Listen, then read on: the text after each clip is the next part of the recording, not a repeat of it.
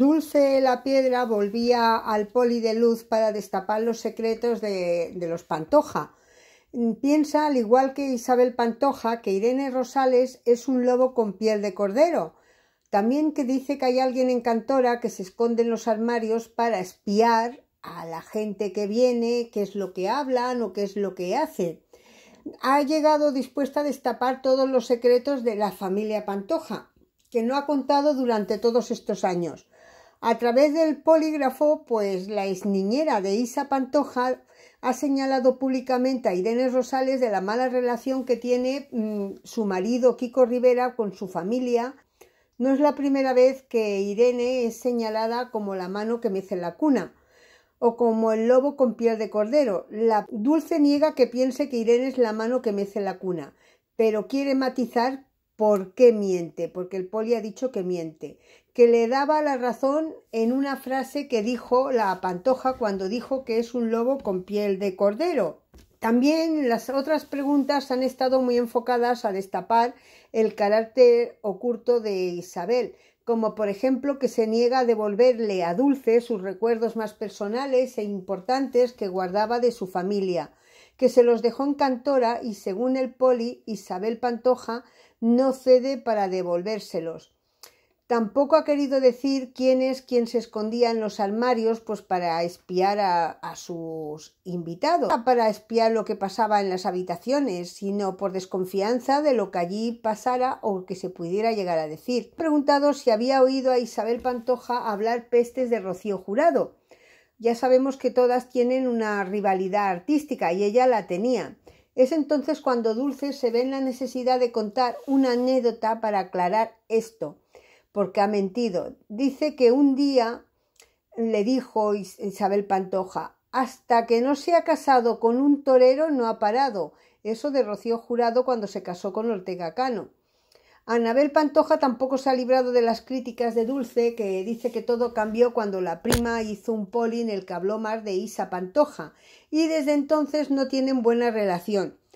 Cuenta Dulce que ella le confesó que el dinero que ese programa era para su tía, y que luego le fue llorando a Dulce para quejarse de que su familia nadie la quería. Le han preguntado si se había enrollado con Julián Muñoz, ha dicho que no y es verdad.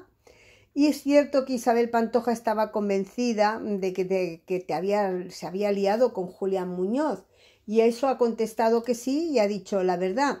También le han preguntado que le consta que Isabel Pantoja no ha estado en la mayoría de las casas que ha tenido Chabelita y su hijo, ha dicho que sí y es verdad. También le han preguntado que si consideraba que María del Monte pudiera haber sido mejor madre para Chabelita que Isabel Pantoja. Ha dicho que no y bueno, ya ha dicho también que es la verdad. Se metían ellos para vigilar. Presuntamente alguien se metía en los armarios, pero no para ver si había escenas de cama, ¿no? Yo no la he escuchado jamás, yo no la he escuchado jamás hablar mal. De todos he sabido los celos artísticos que hay entre folclóricas y todo tipo todo de artistas. Realmente.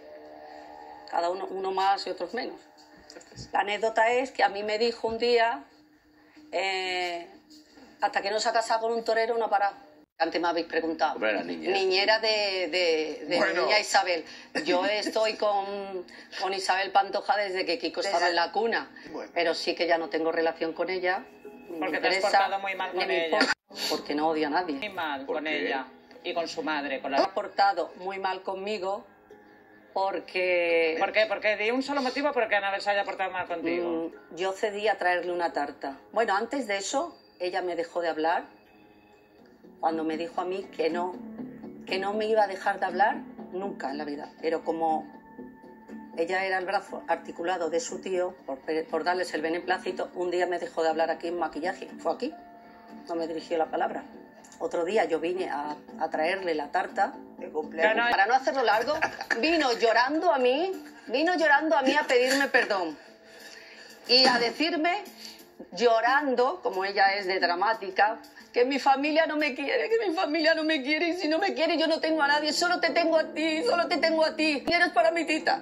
Entonces estaba en prisión. Pero- Y el dinero es para tita, porque entonces se pagaba mucho. Porque, ay, he hablado con la tita y me ha perdonado, digo, ¿le dar dinero? Eh, ya se olvidó de mí, ya le abrían la puerta de cantora, y se acabó. A ella, porque me duele decir esto por Merchi, yo no tengo ya relación, porque es normal que ella tire por su hija. Ella, la que dijo que yo había hecho llorar a su madre y que no lo iba a consentir. A su Llorar madre muchas a su madre veces. nunca. No. Me ha hecho llorar a su madre muchísimas veces, ha sido Anabel. Y lo he vivido yo. Pues, que tenga hombre. buena relación con mi niña, pero eso no quita No, que tenga la niña poca madre. vergüenza de decir todo lo que dijo aquí de mí y yo no poderle contestar. Bueno, ¿qué pensáis? Opinad, dejar comentarios, dar muchos me gustas a este vídeo y suscribiros al canal. Hasta pronto.